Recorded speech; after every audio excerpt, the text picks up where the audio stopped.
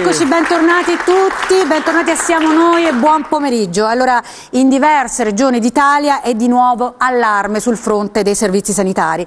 All'ormai cronica lunghezza delle liste d'attesa per gli esami diagnostici, per le visite, si è aggiunta in queste ultime settimane l'evidente difficoltà nei servizi di emergenza e del pronto soccorso. Nello stesso tempo però è arrivata la firma da parte del Presidente del Consiglio Paolo Gentiloni dell'elenco dei LEA ai livelli essenziali di assistenza. Che cosa sono? Sono quei servizi di cura e di assistenza che tutte le regioni come minimo devono garantire. Eh, sulla carta si tratta indubbiamente di un miglioramento atteso da tempo che dovrebbe offrire assistenza, più assistenza sanitaria a tutti, ma anche su queste novità ci sono delle criticità e delle polemiche, non da poco Gabriella. Sì, sì, insomma ce n'è abbastanza per tornare ad occuparci oggi di sanità, lo facciamo con i nostri ospiti che mi affretto a presentarvi. Ben arrivato Guglielmo Pepe, collega, giornalista, fondatore Grazie. di Salute per il quotidiano La Repubblica. Ben arrivato. Benvenuto Guido Coentirelli, segretario genera- regionale dell'Associazione dei Medici Ospedalieri Anao Assomed, primario Ottorino all'ospedale Santo Eugenio di Roma. Ehm, ben arrivato. Eh, ben arrivata anche Valeria Fava del Tribunale dei diritti del malato e Francesco Buono in rappresentanza dei medici di base, Buon dirigente, buon pomeriggio, della Federazione Italiana Medici di Medicina Generale. Allora, prima di ascoltare i nostri ospiti, però, Gabriella, andiamo in un posto che io conosco in ogni suo angolo più intimo. Pure eh. noi, perché ce lo porti ogni giorno Andiamo all'ospedale Cardarelli, dove eh, si trova il nostro Vito Dettore. Andiamo insomma a Napoli, perché lì, nel capoluogo partenopeo, come del resto a Roma, in questi giorni si sono registrati dei problemini sui quali vogliamo incominciare a ragionare. A te, Vito. Ben arrivato. Buon pomeriggio, buon pomeriggio da Napoli. Accanto a me il dottor Galano, che è responsabile della sala operativa del 118 dell'ospedale Cardarelli, sala operativa all'interno della quale eh, dove ci troviamo. Buon pomeriggio, dottore. Anche a voi. E allora diceva giustamente il conduttore Massimiliano Niccoli, c'è un problema a Napoli, ma è un problema, come dire, che possiamo estendere un po' a tutte le città d'Italia. Il problema delle barelle. Cioè che cosa accade? Eh, l'ambulanza viene chiamata dal- dall'utente, dal paziente, il paziente poi viene trasportato al pronto soccorso, in questo caso al Cardarelli, viene trasportato sulla barella all'interno del pronto soccorso e poi, non essendoci eh, posti letti immediati, rimane lì anche 12 ore. Sì. E la- l'ambulanza però è ferma, Sì, è ferma. rimane sul piazzale. Rimane sul piazzale. Purtroppo il problema è questo, è un problema ormai noto a tutti. Eh, I pronto soccorso in questo momento sono stati presi d'assalto dalla cittadinanza per varie problematiche legate all'influenza, che è un problema stagionale, ma anche legato ad altre problematiche, altre patologie.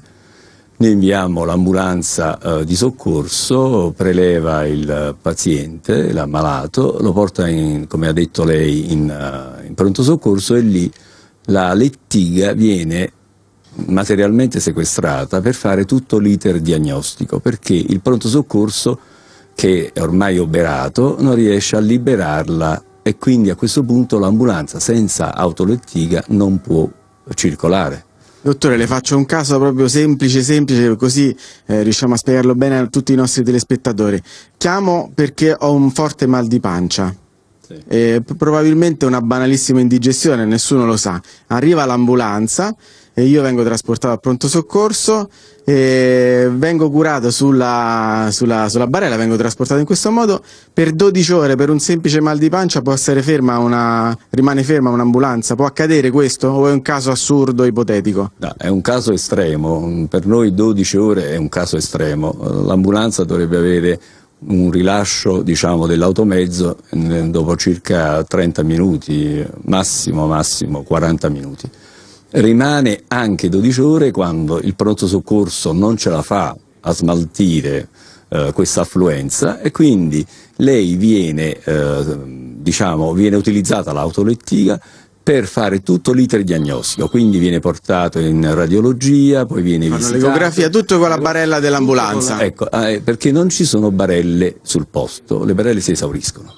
Allora, non è tutto dall'ospedale Cardarelli perché poi ecco, vogliamo capire come sono queste ambulanze, quali sono le eh, dotazioni, ma insomma questa è la situazione con le ambulanze ferme e le barelle in ospedale. A voi? Grazie Vito, torneremo a restituirvi naturalmente la linea. Allora, dottor Cohen, abbiamo sentito quello che il dottor Galano del Cardarelli raccontava al nostro inviato, no? le tighe letteralmente in ostaggio negli ospedali, con i pazienti che di fatto insomma, restano come dire, ricoverato su queste lettighe eh, per carenza di posti in riparto e poi tutto, tutto il circuito insomma, che si blocca perché poi eh, quelle ambulanze restano parcheggiate addirittura per 12 ore. Quella è la realtà di Napoli, vorrei capire cosa succede altrove, sembra una follia.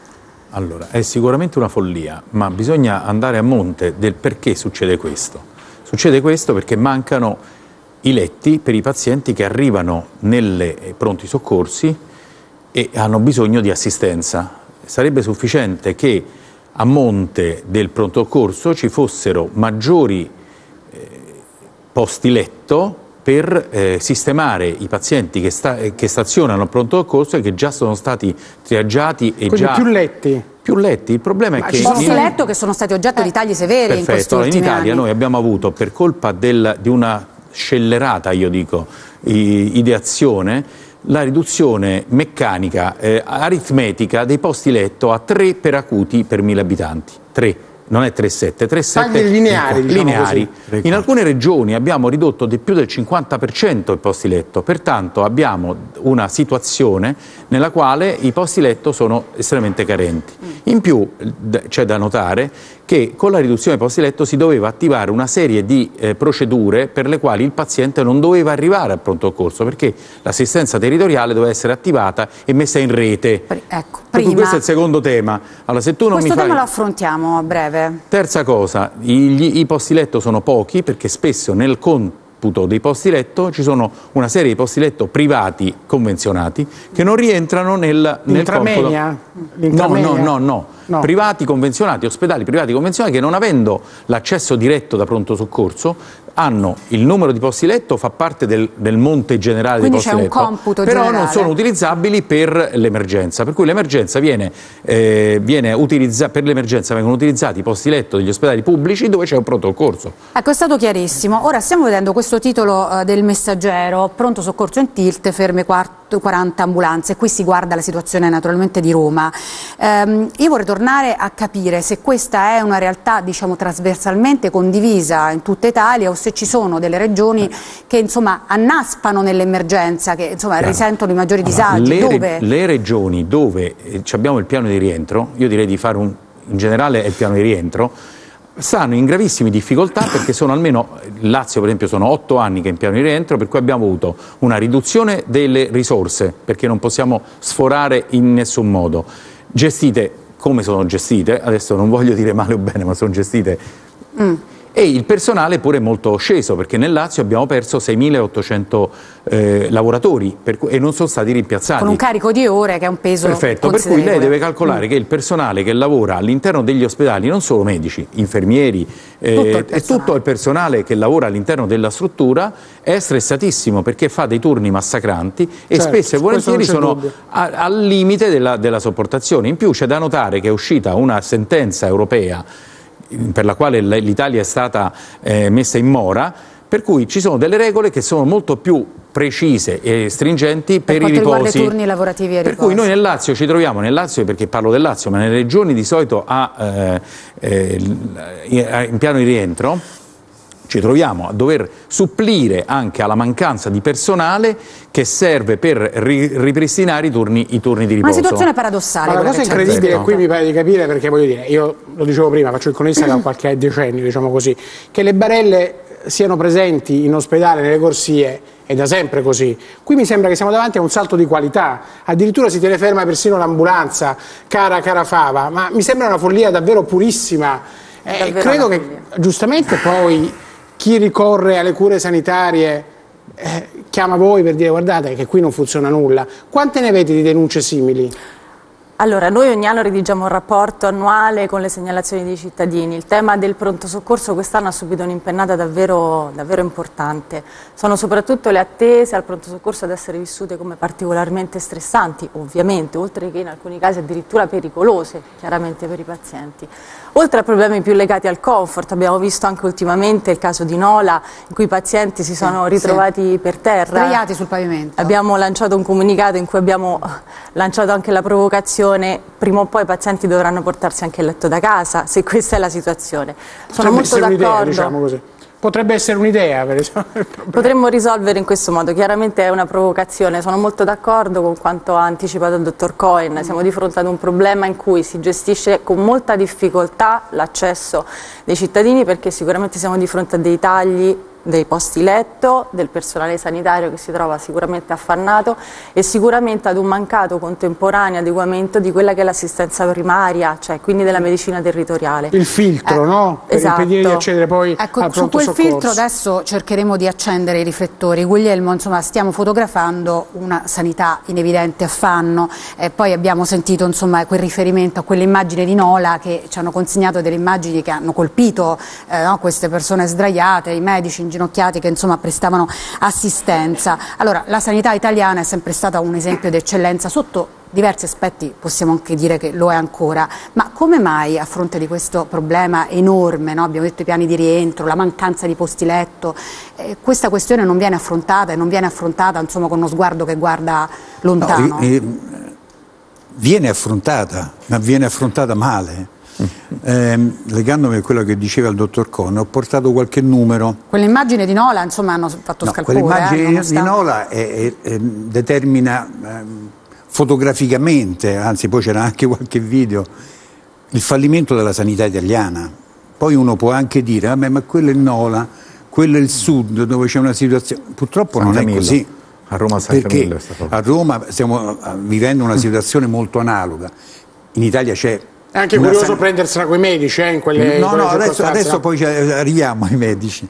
In Italia c'è una sanità a macchia di leopardo, dove hai delle regioni che funzionano molto bene, altre funzionano molto male. La macchia di leopardo però ce l'hai anche all'interno dello stesso territorio, perché a Roma hai delle strutture sanitarie che funzionano molto bene e altre che funzionano male. Andando però, scusate, ai numeri, sui posti letto, e quindi così forse arriviamo a, a, capire i dati della Banca Mondiale che si riferiscono al 2011 rispetto a quello che noi abbiamo il 3.4 di posti letto per mille abitanti, in Francia hanno il 6.4, in Germania l'8.2, significa che in Francia hanno l'88% in più di posti letto, in Germania addirittura il 240% in più di posti letto. Dal 2000 ad oggi sono stati tagliati oltre 50.000 posti letto, negli ultimi anni 25 anni 25.000. Questo significa che siamo di fronte a una politica dissennata di tutti i governi. C'è qualche di... segnale di inversione di tendenza, perlomeno per questa no, questione, poi no, vedremo le no, altre dei posti Assolutamente no. No, anche perché il Fondo Sanitario Nazionale purtroppo è al palo. La politica degli ultimi anni, che non riguarda soltanto questo governo, ma riguarda tutti i governi che ci hanno preceduto, questo no poi magari hai qualche governatore più bravo degli altri, qualche assessore regionale più bravo degli altri, qualche Però situazione in cui diciamo... ci si rimbocca di più le maniche, vabbè, ci può stare tutto quanto. La sostanza è quella mm. e non c'è un'inversione di tendenza perché si non si investe più in sanità, si, purtroppo Anzi. si investe di meno. Adesso il, il, Fondo Sanitario Nazionale passa da 112 dopo dei tagli a 113 miliardi, ma questo miliardo in più è già bloccato con i nuovi LEA. Per cui tu hai un problema strutturale sul quale non si capisce che intervenire è fondamentale non solo dal punto di vista dell'interesse del paziente e dei malati, ma della salute pubblica nella sua complessità e quindi nell'economia di tutta la società italiana, perché si guarda sempre alla sanità o alla salute come una spesa, e invece è un investimento, è un investimento sul futuro. Questo i nostri governanti un paese che invecchia no, perché ragionano sul day by day, fanno certo, una cosa adesso per avere un ricavato domani politico probabilmente. Elettorale, non c'è dubbio. Eh, io voglio coinvolgere però i medici di base, quindi il dottor Buono, no? perché noi prima abbiamo parlato di filtri, sì. quindi evitare di intasare il pronto soccorso. E questo ruolo lo assume, lo assume la sua categoria? C'è questo filtro o non c'è? Intanto il termine filtro non mi trova particolarmente d'accordo se è visto come tale, mentre invece è quella che è la riappropriazione del bacino d'utenza della medicina generale, quindi il dispiegamento di tutte le eh, capacità che essa ha di intercettazione di, eh, dei bisogni e di risoluzione spesso di tali piccoli bisogni dei cittadini determina come effetto collaterale, una volta tanto positivo, visto che siamo abituati a parlare di effetti collaterali no?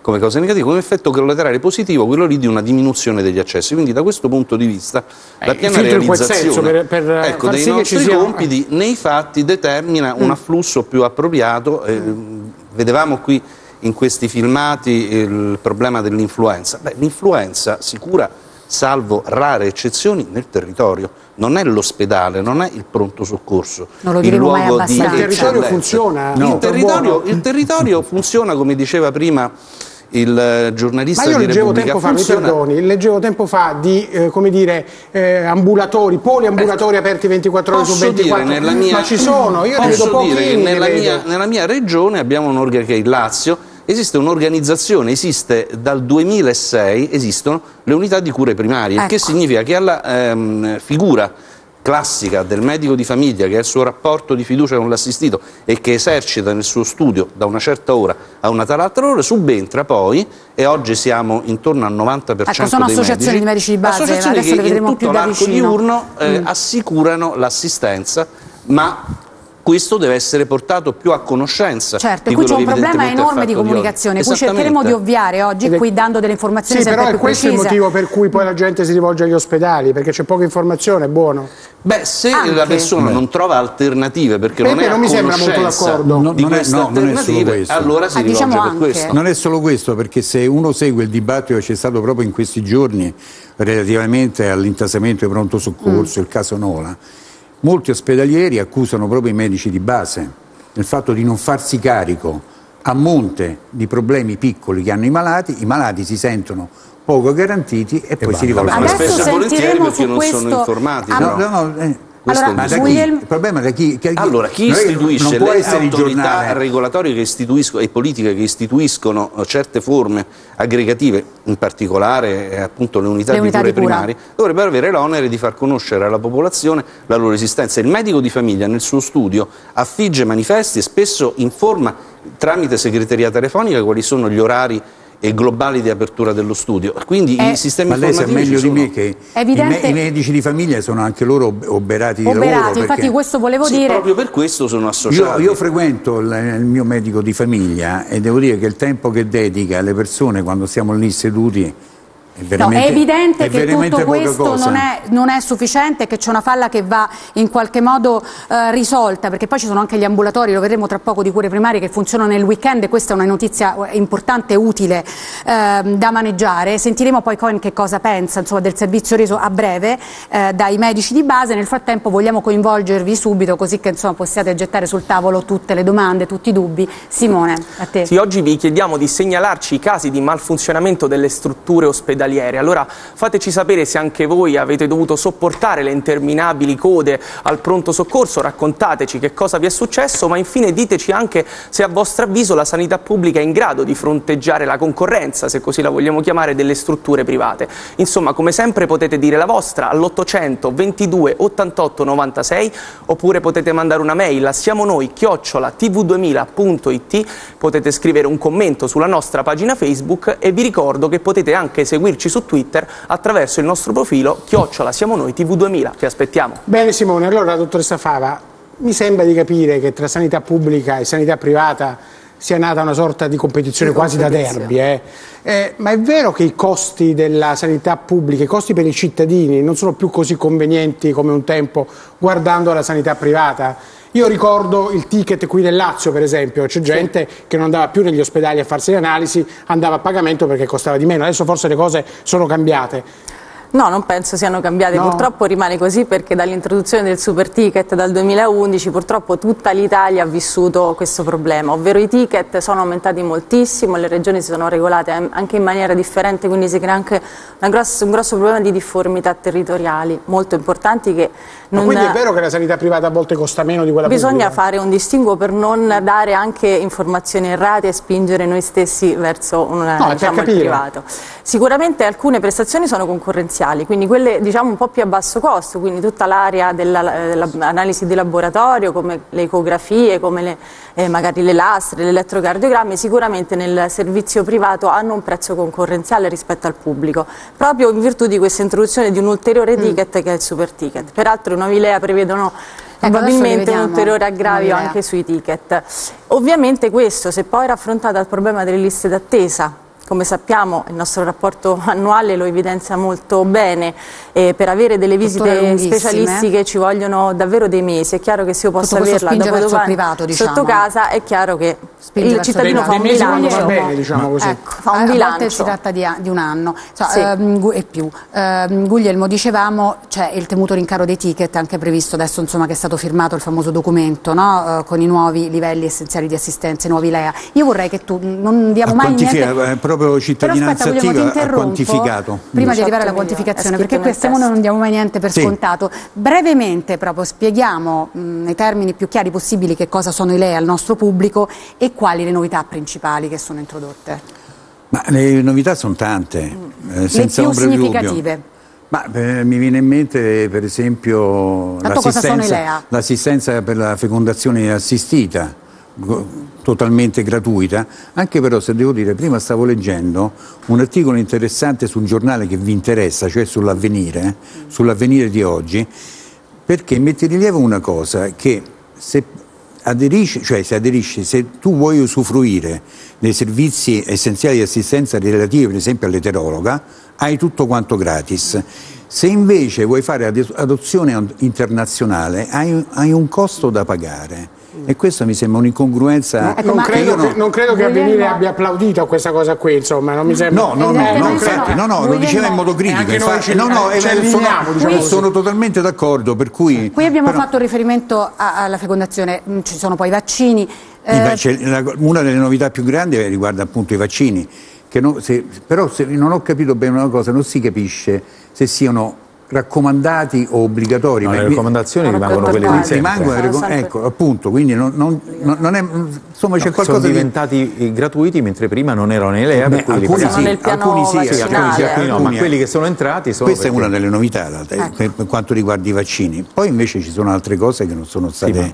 inserite. I LEA dovrebbero eh, tutelare la, il, ecco. diciamo, almeno il 90% della salute che interessa il cittadino eh, secondo anche eh, quello che ha detto il Tribunale dei diritti del malato non è così.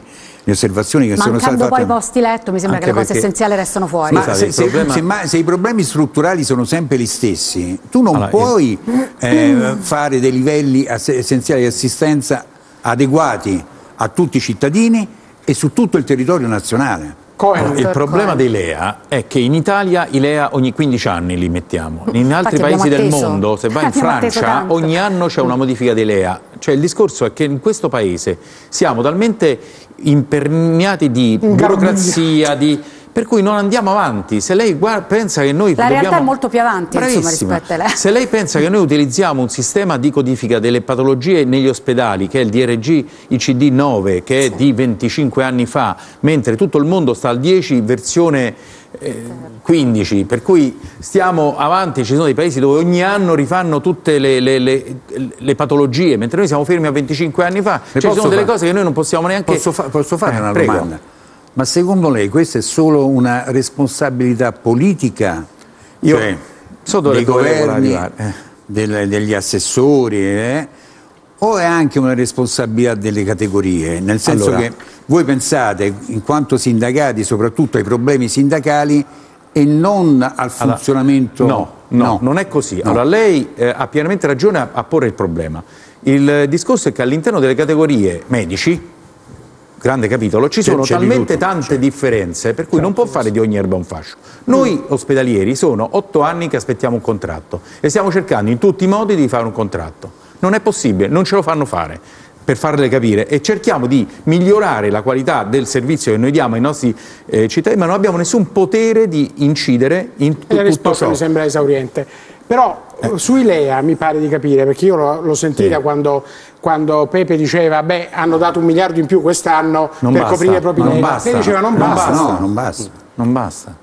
Per cui da una parte corta, hanno fatto finta di darci un milione di, eh, di euro in più, no, un miliardo, un miliardo di euro in più. Dall'altra parte si è tolto il fondo. Dall'altra parte, all'autorità di lei ce li hanno tolti, per cui eravamo a 112, eravamo a 112 che erano pochi, chiedevamo di più, perché stavamo per arrivare a 111. Sì, sì, se no, all'ultimo minuto non ci perché questo fosse... miliardo è già bloccato, già finalizzato. Il quadro non è confortante. Andiamo un momento al Cardarelli, poi torniamo perché vogliamo sentire parlare un po' del- di quello che si fa sul territorio con i medici di base. Vito? Eccoci, eccoci di nuovo in diretta dal Cardarelli di Napoli. Il dottore stava appunto affrontando la questione, sette ambulanze nel giro di sei minuti. No, diciamo, in circa 10 minuti sono arrivate mh, 4-5 ambulanze al Cardarelli, quindi c'è un po' di trambusto, tra le altre cose hanno già manifestato la difficoltà, quindi adesso stavo verificando qual è il motivo che, perché erano arrivate qui al Cardarelli tutte queste ambulanze. Insomma i problemi quotidiani all'interno di un grande ospedale eh, di Napoli. A proposito di ambulanze, prima abbiamo parlato delle ambulanze ferme a- per colpa delle barelle, diciamo così. Che tipo di dotazioni hanno le ambulanze? Sono ambulanze nuove? Eh, Ma diciamo che noi abbiamo 17 ambulanze. e le ambulanze sono sembrano poche ma rispettano i parametri prescritti dalla legge. momento si rispettano il parametro di un'ambulanza ogni 60.000 abitanti, diciamo che di massima è rispettato, forse qualcuna, qualcun'altra ci vorrebbe. Eh, il problema eh, è che in questo momento non tutti gli automezzi sono automezzi diciamo, abbastanza nuovi o efficienti, ci sono automezzi anche abbastanza obsoleti e vecchi, Quanti anni hanno? Possiamo Eh, dire? hanno almeno 6-7 anni qualcuno. Eh, ci sono altri Dopo quattro anni un'ambulanza dovrebbe essere dismessa. legge dovrebbe essere dismessa dopo quattro anni. Eh, stiamo rinnovando il parco macchine, Eh, ci sono già ambulanze nuove, eh, devo dire che per la maggior parte fornite, perché noi abbiamo una convenzione con Croce Rossa Italiana che ha fornito le quattro ambulanze con tutti i mezzi nuovi. Oh, le ambulanze diciamo che sono in dotazione eh, qui a Napoli, hanno l'elettrocardiografo a bordo, hanno la strumentazione GPS o magari ci si rischia pure di perdersi in me- in mezzo ai vicoli.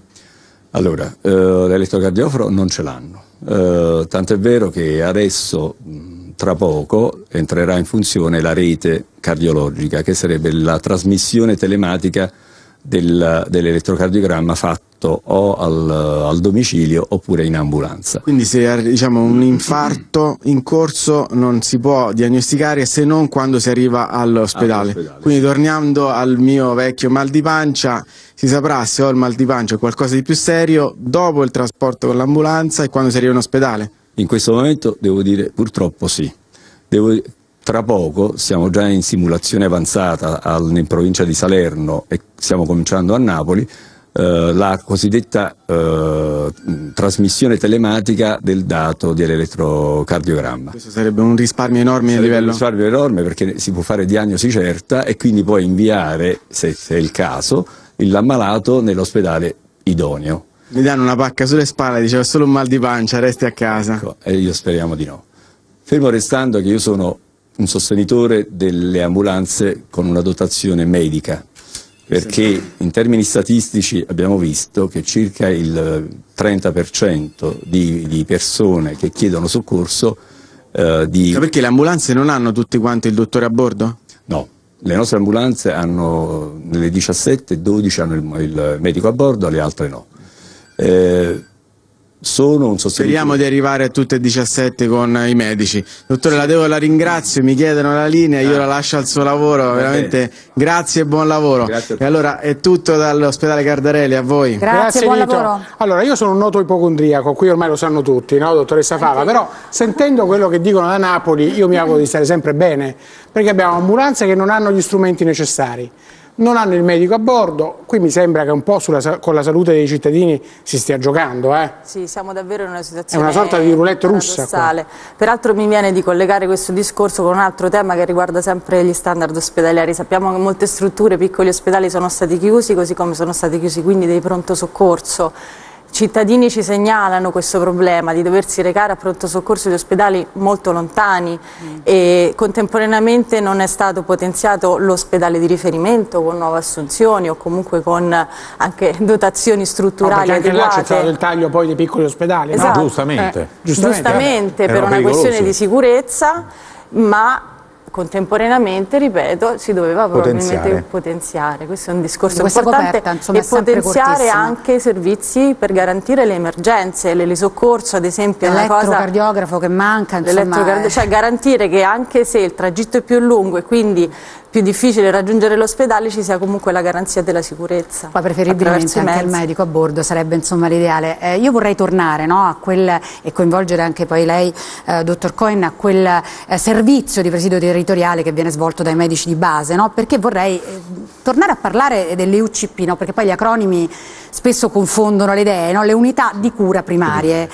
che poi in alcune regioni sono anche degli ambulatori che funzionano nei weekend. Esatto. Allora, ci spieghi un po', ci dica un po' cosa sono, come funzionano e visto che abbiamo premesso che ci sono dei problemi di comunicazione perché i cittadini non sono informati, ci dica anche dove ci si può informare, sapere esattamente dove li troviamo, insomma Certamente, tutto quello che può essere riguarda... utile. Abbiamo parlato di acronimi, gli acronimi sono UCP e ACP. Mm. Allora, UCP, le unità di cure primarie, non sono altro che associazioni, forme associative dei medici di medicina generale che eh, concorrono a, a, coprire una fascia oraria estesa nell'arco della giornata che nel Lazio attualmente va dalle 10 alle 19 ma che noi auspichiamo possa arrivare dalle 8 alle 20 perché poi successivamente alle 20 c'è la continuità assistenziale ex guardia medica che sono, ruotano diciamo, intorno ad alcuni studi di riferimento. Lo studio di riferimento è il classico studio del medico di medicina generale opportunamente ampliato per poter ospitare un turnover maggiore di pazienti anche di colleghi che vengono a compartecipare a questo turno che quindi durante l'arco diurno assicura sia gli interventi diagnostici che per quello che è possibile la prescrizione di farmaci, mm. interventi mm. terapeutici. Quanti sono? Diciamo, sono distribuiti nella città? Ce ne sono diversi? Ma ce ne sono tanti perché lei mm. consideri mm. che eh, sono mediamente costituiti da medici fino a 12-13 medici consorziati intorno a uno studio unico di riferimento e quindi è veramente difficile eh, nell'arco diurno andare lì e non trovare nessuno, trovare lo studio chiuso e quindi dover pensare di rivolgersi Questo nell'arco della settimana? Sì. Questo Se, da lunedì insomma, uno ha necessità nel weekend che Se cosa necessità accade? nel weekend questi esistono nella regione Lazio ormai da circa due anni gli ACP che sono invece ambulatori di cure primarie. Questi ambulatori sono uno per distretto e poi sono presenti anche nella provincia di Roma e in altre province del Lazio, sono generalmente presso sedi ASL eh, potremmo dire quelle che sono destinate a diventare le future case della salute, in alcuni casi già sono attive le case della salute e, e fanno esattamente lo stesso orario Però nel weekend. ma nei fine Il cittadino dove si documenta e poi venga un momento Il lei? Il cittadino si può documentare, per quanto riguarda le UCP, intanto eh, al momento in cui sceglie il medico può sapere perfettamente allo sportello se quel medico è dell'UCP. Se già fa parte di un medico che afferisce a un medico che precedentemente mm. non era in UCP, lo sa dal suo medico perché lo trova affisso in Quindi studio domandate ai vostri medici di per base, questo è il primo consiglio. gli ACP eh, dal distretto, sicuramente perché mm. l'ACP è un'articolazione del distretto sanitario che è un'articolazione mm. a sua volta dell'azienda sanitaria. Allora c'è stata descritta, dottor Corre, una situazione territoriale che in qualche modo dovrebbe alleviare il peso e le fatiche dovrebbe. dei pronto soccorsi. Ecco perché usa il condizionale? Perché le case della salute del Lazio, anche se il nostro... Eh, Vediamo anche un po' no, Io, io le racconto il Lazio, perché sì, altre regioni funzionano, se vai in Emilia mm. o in Toscana funzionano molto meglio. Ora poi non so la realtà di altre regioni, però io credo che, visto che siamo a Roma, le posso parlare del sì, Lazio. Parliamo allora di Roma. Il Lazio, il nostro eh, governatore, parla di case della salute funzionanti, che in ogni distretto c'è una casa della salute, questo non è vero, perché la casa della salute dovrebbe essere un luogo dove eh, ci sono gli ambulatori di tutti gli specialisti e ci dovrebbe essere una continuità assistenziale con i medici di famiglia. Questo è a macchia leopardo, ce ne sono alcune che funzionano, ma pochissime rispetto alla totalità dei, dei distretti anche qui se ne parla da tempo, insomma, è da Perfetto. tempo in memore. Ma questo non è colpa né, del, né dei medici, né, de, eh, certo. né de, ma è colpa della, della burocrazia, perfetto, della programmazione e della burocrazia che non, in realtà Insomma, fa programmi ma poi non, non realizza le cose. Andiamo dai nostri telespettatori, Simone.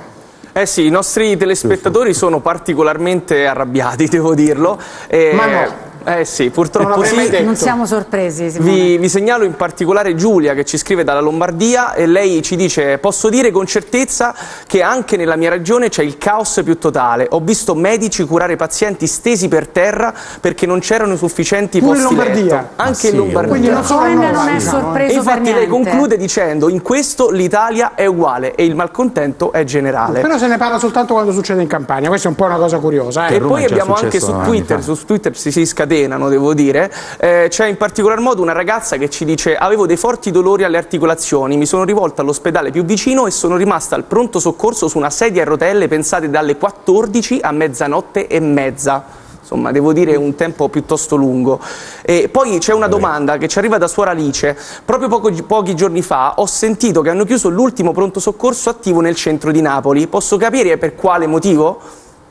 E poi per finire vi, vi dico che, che, devo dire che purtroppo le lamentele più grandi sono quelle nei grandi centri e quindi anche negli ospedali più famosi se così vogliamo dire. In particolar modo abbiamo Mario da Roma e ci dice che a dicembre del 2016 il padre ha avuto dei forti dolori al petto ed è rimasto in, in uno stanzone con 15 persone in attesa di un posto letto che è arrivate dopo 5 giorni. Ecco Guglielmo, insomma un quadro di fortissimo affanno in cui insomma, questo diritto alla salute costituzionalmente garantito insomma un po' in bilico. Siamo con tempi strettissimi, però un accenno va fatto a un passo, non so se avanti, indietro, ce lo direte voi, mm, mm. insomma a quel disegno di legge sulla responsabilità dei medici che adesso dovrà andare al vaglio della Camera, è passato insomma in Senato e vedremo eh, se diventerà eh, definitivamente legge. No? Eh, mi pare che sia stato tolto un po' di fardello dalle spalle dei medici perché c'è un eccesso di cause, un eccesso di medicina difensiva però che cosa accade diciamo, al eh, diritto diciamo, dei pazienti di ricevere la miglior cura possibile, di essere Beh, tutelati in caso di danni? Io su questo mh, disegno di legge sono critico fin dall'inizio, l'ho criticato adesso eh, anche che è stato varato dal, dal Senato, poi dovrà passare alla Camera. Perché critico? Perché eh, diciamo, alleggerisce, alleggerisce, la responsabilità dei medici mm. e scarica tutto sull'anello più debole della catena sanitaria, che è il malato.